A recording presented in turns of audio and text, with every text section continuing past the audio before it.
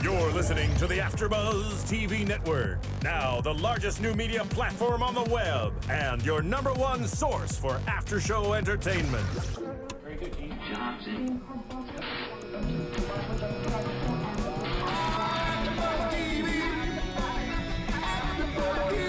From Los Angeles, California, and Maria Menounos, and streaming live thanks to Akamai Technologies, this is AfterBuzz TV Spotlight On. Spotlight On is a long-form interview series featuring actors and TV personalities.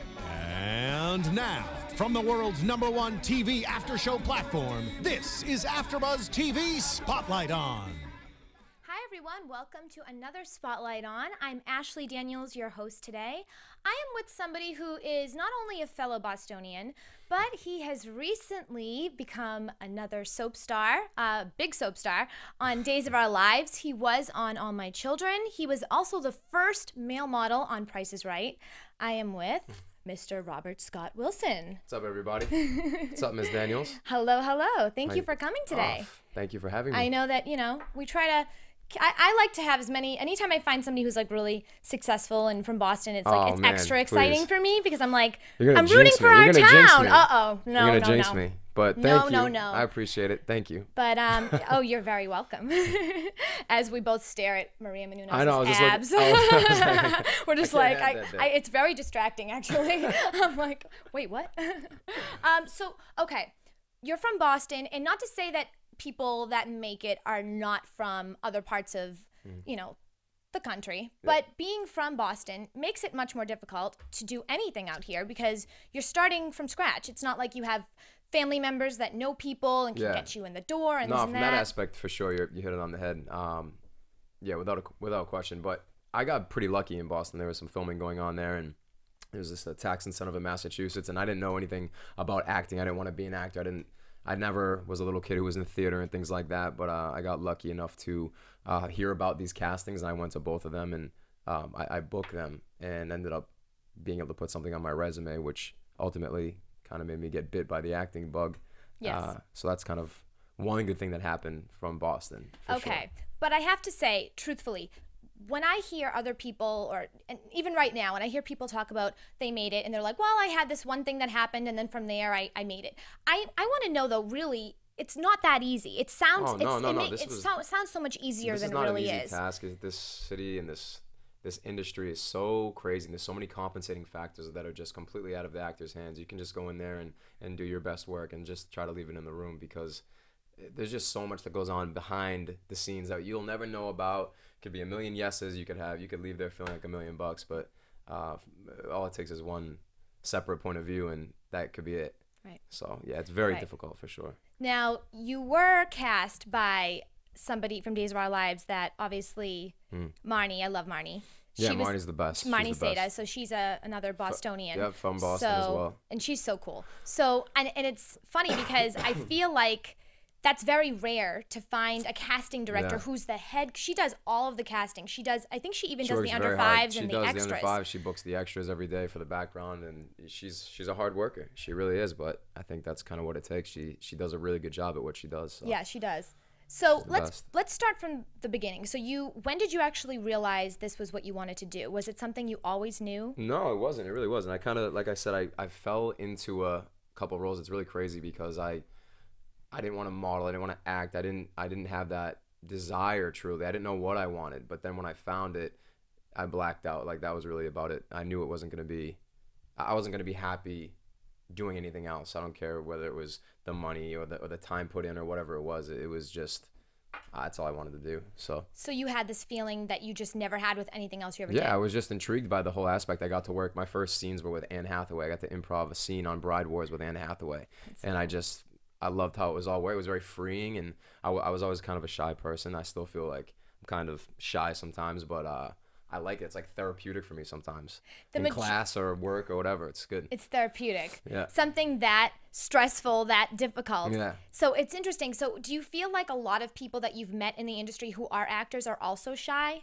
Yeah, I think so. I mean, I think you have to keep a level of mystery if, if you want to be an actor. But I Mm-hmm. mean, nowadays, like with social media and everything, you got to be personable and relatable as well. So it's like a fine line. You got to kind of know where to draw the line, and I think that's the main thing. Right.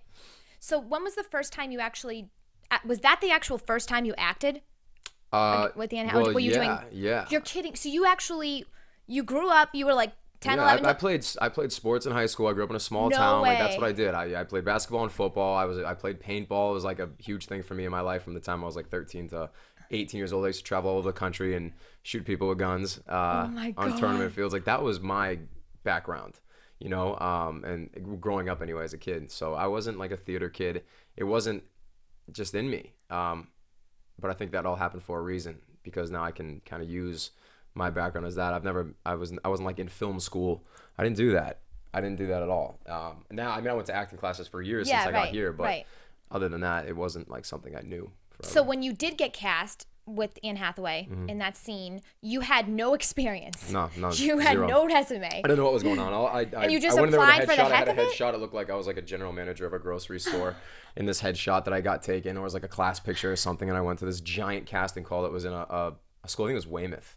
I think it was in Weymouth. It was a big auditorium. There's tons of people. I'm sitting there, me and a friend of mine, and uh, yeah, like I just went through the whole lineup and handed off my headshot and just forgot about it. And then I got a Oh my call. They were like, "You're gonna actually have lines with the lead," and I was like, "I don't know who the lead is. I don't even know what this movie is, but sure." Oh my god. and then. I got blown away, and it was just awesome. and you loved it. It was awesome. hmm So you got the bug right there. I got the bug. And so when did you decide I'm going to move to LA? How soon after that? Two years after that, because I, Okay. uh, at that point, I had just moved back from New York. I was in New York, um, kind of getting a, a sales background. I was working, I was doing mortgages. I was like right out of high school. I wanted to do finance. And uh, I fell into a great group of people that kind of took me out of my shell and made me more outgoing. And uh, it was just a huge experience that I think carried over to me now. Because you need to know business if you want to like kind of work. Because you can act forever and you could never earn a dollar at it and make it a career, or you can make it a business and have it be your career. How much of acting is branding I'm yourself? Sorry, I'm like, Is it hot in here for you? no. We can put Yeah, a little bit. All right. Maybe we can, can we get some air? You think? It's, thank you so much. Cool, Okay. we want to make sure you're comfortable. So how much of being an actor um, and being a successful actor Mm. uh, includes branding yourself and and having a business sense of how you're going to market yourself? I mean, I think it's everything. I mean, you have to know your brand no matter what you do. If you're you're you're kind of out there marketing yourself and things like that, and you got to know the right people on your team to kind of help guide you in the right direction. I think it's very important. Right. Sure. So what's the first thing you did when you moved out here? You first of all, you tell your you just say I'm I'm moving out here to your family, hmm and they're like, what? Yeah, yeah. I mean, the hardest was for my mom. My mom raised me, and that was the hardest one to leave. But everything else, it, was, it just the stars aligned like it was supposed to be. I didn't move back to New York. I started looking for places here in LA, and it just all worked out. So and you move out here and now you're you're brand new you have no idea really where you are you're like completely lost in a sense i mean you're this is this place is very overwhelming when. Yeah, you're by yeah, yourself course. so what makes you decide i'm going to you know what what was the first steps you took was it like acting classes was it getting a job was it getting a place what was it Mm-hmm. Uh, well, I had a, I had an agency here, and I was oh being you sent already out. okay Yeah, I, I just it just lined up. I kind of went through their open calls and kind of just grinded my way through. I ended up getting with a great manager, and um, everything just started kind of developing from there. Okay. which was good. is that God. your manager today Yeah, Marsha Wiseman. Marsha Wow. Wiseman. So My she little, saw my little your lady whole in Studio City. Yes. unbelievable Yeah, she's. I got referred to her through a friend, uh, my friend Hector, Hector David Jr. He's the Green Power Ranger and uh, a bunch of other things. He works on uh, that that new show on Hulu. What's it called? This is a new show. well it's East Los High. East Los High. Thank He's you to also on know. East Los High. I had to give him a shout out to my brother. awesome so so your manager watched you throughout this entire time now how many years have you actually been out here Four years. Four years. So in four years, you went from having basically nothing on your resume to Mm-hmm. being a lead on Days of Our Lives and a prior lead on All My Children and Yeah. like lots and lots and lots of guest stars Yeah, and, yeah, it was and great. recurring it's, roles. It's it's been a blessing. Everything has come together greatly. I just hope it continues. I thank God every day, and I just, you know, just, I don't know. I'm just very grateful, you know, because I know how fast it can be gone. You know, it, I felt great last year too. I was working on Price and and all my Mm-hmm. children, and all of a sudden both came to a, a screeching halt for a short period of time, and luckily I. I got the offer to do this, and I started in January. So, so when you got Price, explain how that all came about. Um, I was with Ford, uh, my print agent at the time, and they sent me this open call. They told me about for the Price is Right, and I was kind of like, this is going to be the biggest cattle call of all time, and it was. And I went through the whole process, man. I was a part of the first group that got picked out of like literally there was like uh, 2,000 people at CBS Radford. It was obnoxious. It wasn't just models from the town. It was people from all walks of life. It looked like an American Idol audition. It was crazy. Uh, so I didn't want to be there. Uh, but as soon as I got to meet everybody and I saw what it narrowed down to, the 26 of us, and we started shooting the webisodes, then I wanted to be there, of course. And as it narrowed down, I wanted to win. And then luckily I got voted and I won. Now, I don't know how. So you know. so you spent over a year at the Price is Right as a model, Mm-hmm. Yeah, showing off the appliances, hanging out with Drew Carey, doing whatever. Now that must have been something that you did you do you do you go into these auditions thinking you're going to book it? Um, was it a well, surprise sometimes to I like to, you know, it's always a, it's always a crapshoot because, like I said, there's so many compensating factors behind everything. But sometimes you feel really good going into the room if you feel like it just fits for you. But I didn't know if this is gonna fit for me. Um, but then we were going through all the motions and doing all these ridiculous things as part of the casting, and uh, and then I, I was having a blast, you know, and I don't know, it all worked out. I had That's so fun with crazy. it. It was a great gig. It was a great opportunity. Um, I never aspired to be hanging on jet skis on the Price is Right, but it's what happened. It was part of my journey, and I'm very happy for it. I'm glad it happened. Now did you get All My Children before Price is Right? No, right after. I got it about eight months after. Casting directors Like sometimes eight months. say that people that book one commercial are in a lot of commercials, um, or people that book one TV show are in a lot of them because they get an overwhelming sense of confidence that just kind of oh, spirals. Oh, spirals. without question. It's like anything else. It's like, you know, a real estate agent that sells 10 houses in a month. He's feeling way better than the guy who didn't sell any last month. So his chances of him continuing are a lot better. Do you know, feel like that's momentum is a real you? thing. I think momentum is real and it carries throughout your life. And if you're down and you stay down, you're mentally down, you're probably going to be there for a while. But if you're feeling good and things are coming your way, just keep that door open, let it come freely.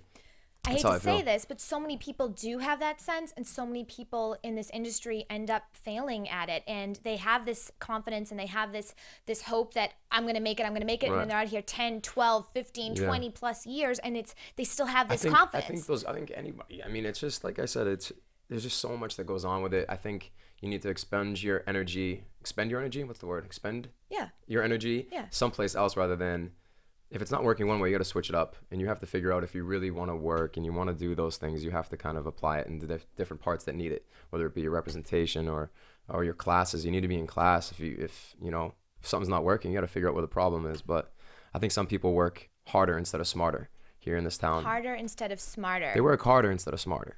Like you can work a lot less and do the right things, and you can have a lot better chance of doing it or working. It all depends where you're where you're where you want to be. Right. You know, not everybody Right. wants to work on a soap. It's not for everybody.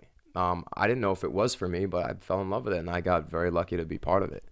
It's weird. It's crazy. This town. It's crazy. How did you prepare? I've been on set of of, of soaps before, Mm-hmm. and I have to say I was so taken aback by the amount of time that these people have to put into these lines. I mean, you you you have to you have to do what a couple episodes a day. Yeah. so sometimes, yeah. you were obviously you did a lot of, of guest starring and recurring roles, but uh, to prepare for for um, all my children versus days, was there Mm-hmm. a difference since all my children was online? did you have more time with all my children, or was it the same? Um, No, no. We, the, the period of time is the same. I mean, Oh, we we'll get our scripts like a week ahead for X amount forward, but to really work on them all and to be in the moment, you kind of have to go day to day and scene to scene. Um, but you know, I'll always work as hard as I can on everything I get, and I'll always read everything as far ahead as I get. But to actually put in the time, it's always the night before. Like I'm always grinding and getting my getting the words right, and then let it all happen out there. Just kind of leave it, but.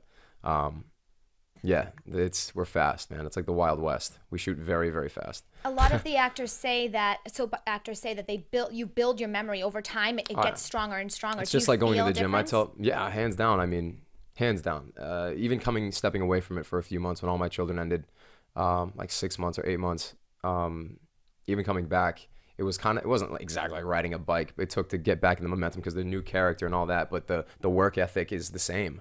Uh, soaps are definitely the hardest working people in this in this town because it's the workload is serious. If you're a contract and you're working four to five times a week, uh, doing one to three episodes a day, sometimes it's like the work ethic has to be there and you have to prepare. It's just being prepared. Yep. Just like anything else, just come prepared.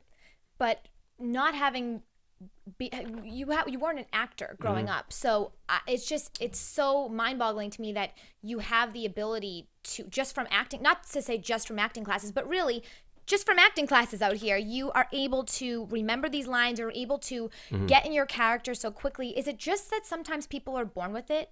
Oh, I don't know. You know, people have said that, and it's like, I think I don't know. I think I like to believe that to a little bit because it's such a weird medium medium to be a part of, and I think you have to be a little bit weird to do it. Yeah. And I mean, I've never met anybody that's a good actor that's not weird. In one way or another, it's like, dude, you're weird. You know. You're not weird though. I'm, I don't think you're I'm pretty weird. effing weird. I don't know if I can swear, but yeah, You I'm can swear. Pretty. Eff- I'm fucking weird. You're fucking weird. You don't look. I, I don't know. I, I I've known you quite some. I don't think you're weird. I think you're well, very normal. Thank you, Ashley. I really appreciate it. do.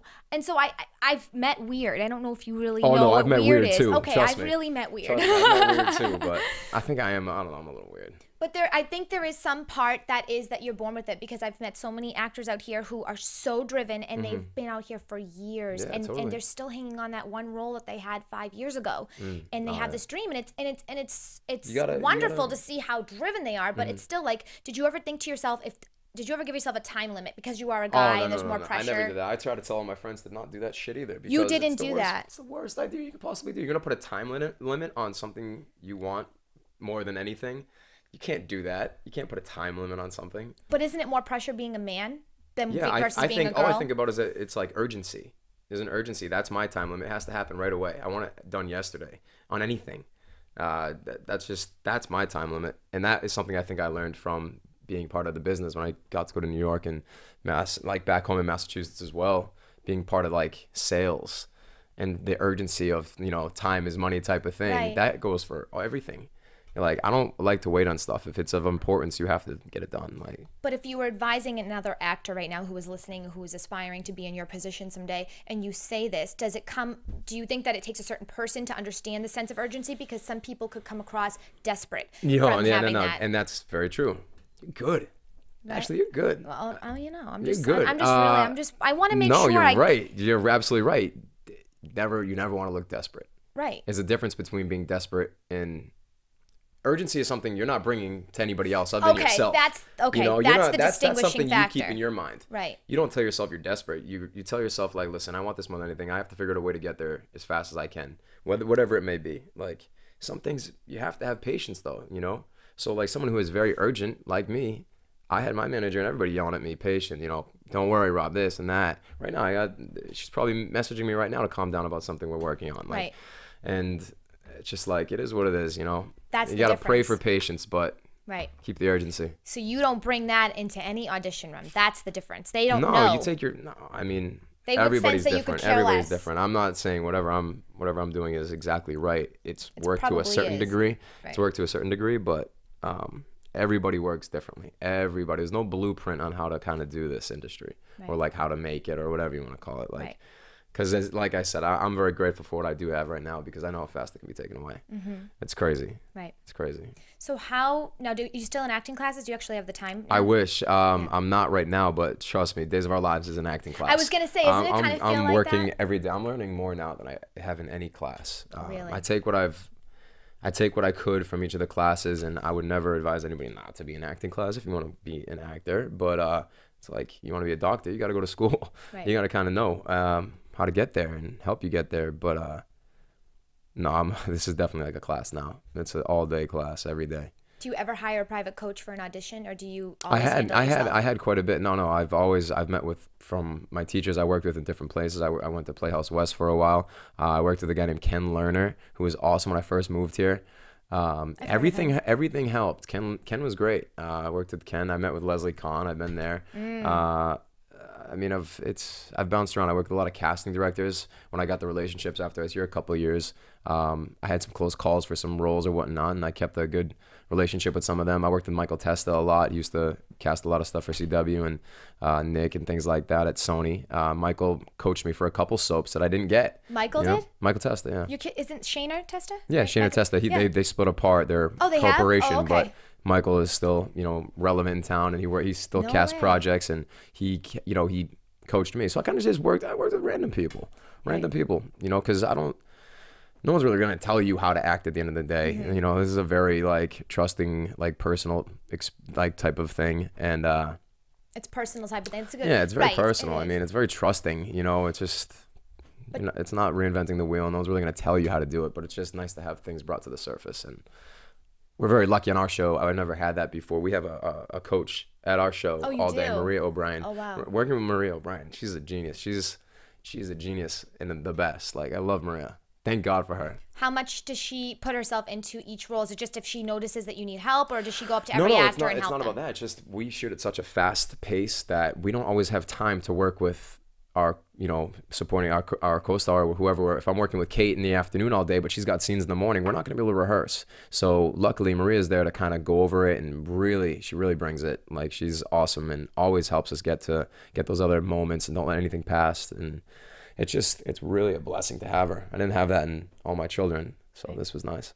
Now, a lot of actors that are moving out here and they don't really know what to do and they have all these there's so many programs there's so many websites there's so many everything casting director workshops Right. and people sometimes pour all their money into things thinking that it's going to help them so if you were to advise somebody that wanted to be an actor you know about casting director workshops about classes would you say that classes are more important would you say that they're Hmm. No, both I think you should do it a little bit of both. I mean, you have to spread yourself out and make sure you're being you're meeting the right people. You know, how do you know that and though? being. I, I think I it's mean, just you may just be personal. I think intuitive, but some people don't have Oh no, totally. And I think it's uh, it's just the experience. Like you'll know if you're getting something out of a class, or if you're intrigued by the person you're talking to, and you want to listen to them, and it and it makes sense to you. Um, I don't think it's anything more than that. You know, so I think you had kind of have to audit places, go to the classes, Yeah. like you just kind of kind of make the rounds. You kind of just got to live it. You got to live Yep. it. You got to make the audits and see who what kind of classes you like and what you think helps you. And it's just weird. Not just coming from me. I'm not saying it's right. no like, right right uh, everything it's different for everybody. But But your business, do you think that your business sense helped you at all in in distinguishing somebody that's maybe having a casting director workshop that maybe that workshop seems a little shady and it's like somebody else would be there like, yeah, oh my no, gosh, this so. is my for sure. and you're like, sure. uh uh no. Yeah, no, for sure. Like, I don't know. I, I mean, you'll usually get a good reference to a, a good acting coach or places, you know, if other people, if it's, it's helped other people. But yeah, I mean, there's a lot of, everybody thinks they're an acting coach or an actor out here. And, all, you know, anything to make a dollar in this town, Right. you know, it's obnoxious. Yeah. But, you know, you can kind of sift through it. You can sift through the shit and find the real stuff, you know? It's Have you ever true. had a moment where you were screwed over by somebody out here or somebody, you know, said they were one thing and then another thing happened? I mean, I know I mean, it probably happens a lot. Uh, Yeah, and that I mean, never screwed over. No, I haven't really ever been screwed over. It feels like a shot to the jaw sometimes when you feel like you're on hold for projects or if you have all these green lights and you change your flights and you don't fucking get it. Yeah. Of course, it drives you a little nuts, but you're not being screwed over. It's just part of the just part of the fabric in this crazy industry. Right. Mm. Now, I, I noticed with a lot of TV shows, when you first watch them, the characters are kind of sometimes you don't connect with them or they don't connect with themselves. Is it because it's it's more difficult to find your character for the pilot or the first episode of something versus like now you're doing it four or five times and you you're Well, I more mean, I comfortable think with it, it? it all comes down to experience, and some actors have a lot of character or a lot of um, ability to, to to see certain things or know certain people to portray that type of role. Um, but it comes down to experience. Certain actors can have 12 different characters in their wheelhouse that they can kind of get into if the if it fits the right thing. If they read a script and it works for them and it feels like them, you can do that. Um, my wheelhouse isn't that expanded. You know, I'm, I've just really started. I've been here for four years, um, but now after being here four years, I feel very much experienced compared to uh, a lot of my my friends that you know need to to get that gain that experience and. I just hope we all do it. You know, I just want us all to work together and us all to do these these awesome projects like one day on our own. You know, that's what I really want. How much of Rob Wilson is in Ben Rogers and Pete Cortlandt? Oh my God, a bunch, a bunch in Pete Cortlandt. Pete Cortlandt was all business minded, except the fact that he came. He came from a Pete Cortlandt came from money, and he was Wealthy. successful on his own. He, like dropped Did you out have of college. that scene with the Porsche when you first? Yeah, yeah. I got, I got the. He had a Porsche, and the kid. You know, I played. Uh, I played uh 20. I think he's 20. How old was he? 22, 21. I think Peter Cortlandt was, and uh, Ben is like me in a different aspect, meaning he didn't come from money. He was kind of not a loner. Ben's a loner. I'm not really a loner, but uh, I've kind of gone off on my own quite a bit. I've been on my own for a while, and uh, Ben was a lot like that, and he had a lot more struggle, and he's a lot more. Uh, you can relate to him a lot more than somebody Okay. who comes from money and it gains more money, you know. So Ben is a lot more relatable. He's got a very, serious temper, which we've got to showcase a lot on the show, which was fun to play. But Do you feel like you have a real grasp on Ben Rogers now? Hundred percent. Yeah. I mean, I'm learning more and more about him. They told me very little when I first signed on to the show, but I'm learning more about him. I'm finding him, and now I just I'm comfortable now. You know, everything that's airing now is my first like couple months on the show, and I was just getting my feet wet with the character and really just knowing the people I'm working with. I didn't I didn't know any of these people. I didn't. I hadn't. I didn't have to test for this project, luckily. So I didn't even get a chance to really meet them before I, you know, That's started. crazy. Um, It's like going to a new school. it's like going to a new school. It's just like that. So Times eventually 10. you you figure out who who bonds with you and what you know you, you find your group and you're luckily I've I fell in love with everybody. They're all great. Working with all of them have been awesome. So You are got I- very lucky. Yeah, you are lucky. That's great that you all can actually. Yeah, I've heard horror stories. I you know, I know. luckily, I mean, so far so good. Knock on wood Yeah, somewhere, but yeah, somewhere. um, no, we're good. Yeah. Yeah, there we go. Knock on wood. That's really cool. So what Well- it, what do you actually have coming up now that you can talk about? Mm, I can what talk about it. It's, it's really there? hard. It's really hard with days because we we do shoot so far in advance. So, for example, I started the first week of January. My stuff didn't start airing till the end of May. So I don't know Oh, what's about to start airing in comparison to where you know where we're at. So, um, what I can tell you is that obviously uh, Ben has taken a liking to Abigail, played by Kate Mansi, and he he wants to help his sister stay in this town. He wants to stop running, um, obviously because he's after a girl, classic, and he wants to open up, you know, a home here in in, in Salem, and he, he finds his way. But along the way, um, certain somebody comes to town who he's kind of been running from, and his family's been running from, and starts the drama, man, classic soap drama. So you gotta watch. What about those stare downs? Do you do those? Oh, I do stare downs every day. So how do you do those? Tag shots. Can we do one? Let's see if we can do one. Sure. Okay, so we just finished our lines. Uh-huh. Okay, so now do we? What'd you say to me? Okay, I said, um, I know you killed my brother.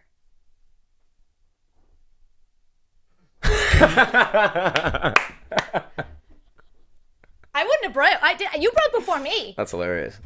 I usually You I really have to do those all day long, and you have to keep a straight face, Oh yeah, it's not always that, but it's close. That was actually pretty close. Yeah. Okay, cool. Felt felt Cool. felt pretty good. But you really have to do that all the time. Yeah. No, there's always tag shots on somebody. It's always Mm-hmm. fun. Now I'm just it's just part of it now. It's part of the genre, it's part of the work. But when I first started it was always funny the flashback scenes and I really I really love it now because when it all comes together, it's great for the viewer. It's fun to watch. It makes it fun. And these flashback scenes, you'll be doing a scene and all of a sudden you'll stop and you'll hear one of our stage managers clap. You've seen it. Yes. At, you were at General Hospital, Yes. right? Uh, you know, you're all right, flashback. You let it go, and they'll just stand there, and you'll have your flashback, and you're just that inner monologue going, and all of a sudden, all right, you're out. Yep. And it's like, fuck, it's gonna be any Yep. more like out of the moment, but then you get used to that technique, that that way of them shooting it. And it The phone helps. calls too are always funny because you're really not. You're on the phone with like you're one of the um, direct ads or Yeah, somebody will yeah, be like on the phone with you. Yeah, it's really fast because if like Chrishell's not there, my the one who plays my sister, we're always on the phone. Me and Oh, Chrishell you- are always on the phone okay. together. And uh, if she's not there that particular moment to shoot that scene, it'll be one of our stage managers. But it's cool. It's cool. It's you know, I know the character. I, I know who I'm listening to. Mm-hmm. So regar- regardless if they're there or not, I know kind of where we're at. How was cool. it last night being at the Emmys? Emmys was great. Um, Yeah. We had a good time. The show was kind of a, a mess, to be honest. It was kind of a mess, but uh, Mm-hmm. I think this whole year was a, a, a year of change for it. But I think it'll be back to normal next year. This Yeah. year, this year, I think they got shell shocked on how they went about certain things. But Mm-hmm. um, all the nominees, everybody who won should have won. You know, it was cool. It was good. Unfortunately, my people at Price is Right didn't win Best Game Show, but they won last year. Yeah. Um, and Days won last year as well so for Mhm. Best Daytime Drama. So that was great, but we didn't win this year. Okay. Why not took it, which is cool. But Yep.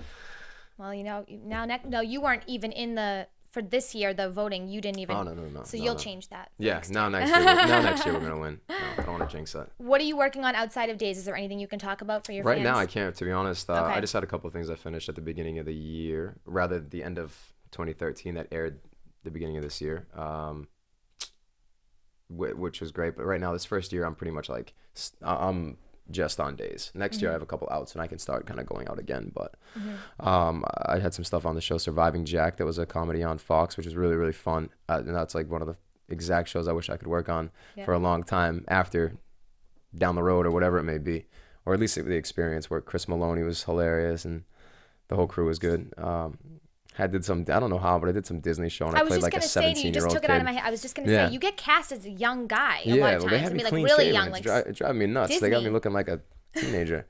I can't deal That's with it. a- but that's- I- that's a take it. compliment, though. Yeah, I'll take know it for that. the time being. But it's like, damn, I'm like the most, I'm like the most weathered 26 year old, and yet I'm playing this 17 year old, and with a real 17 year old. crazy. Like, oh my god. Oh my god. Anyway, So day you're doing days. You, you you can't really talk about anything outside. But how have you? What have the fans been like from All My Children versus Days? Or, I mean, did you have a long enough time to really experience the fans? yeah, no, it- all my children there was great because I, it was really just the soap fans in general because a lot of them know what's going on with other shows or support.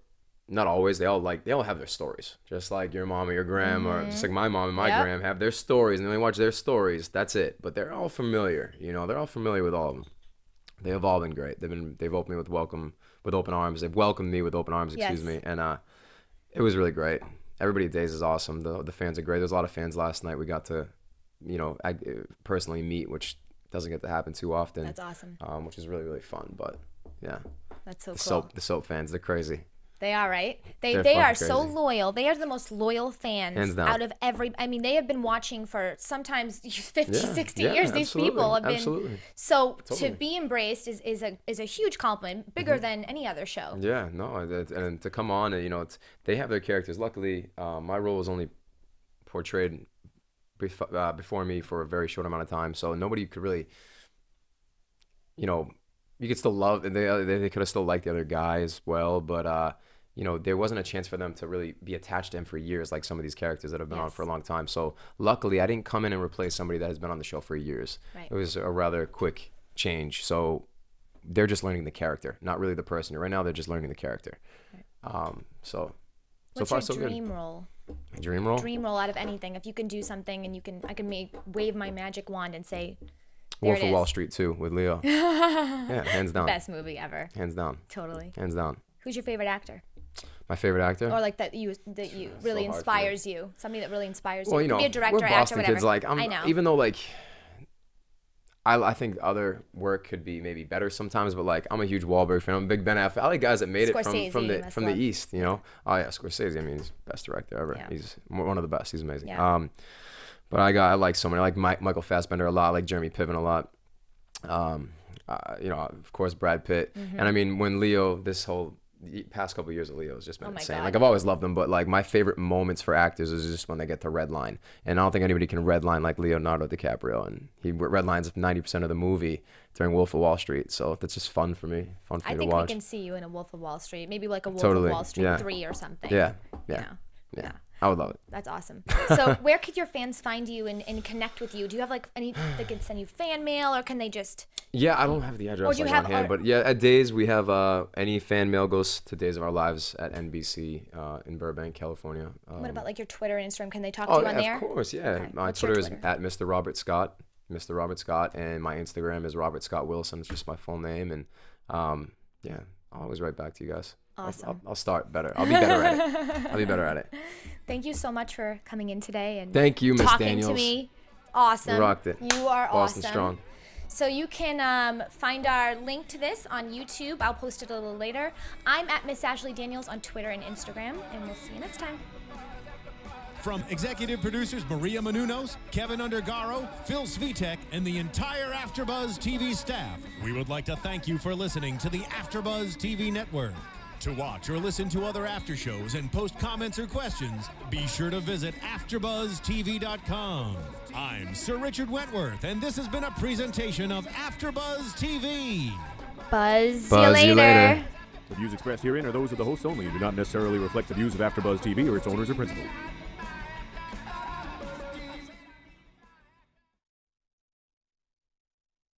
Thank you for watching AfterBuzz TV on YouTube. For more of your favorite after shows and interviews, subscribe to our channel here and be sure to share your opinion on the episode in the comment section below here. We'd love to see what you guys are buzzing about. Thanks again. Buzz you later.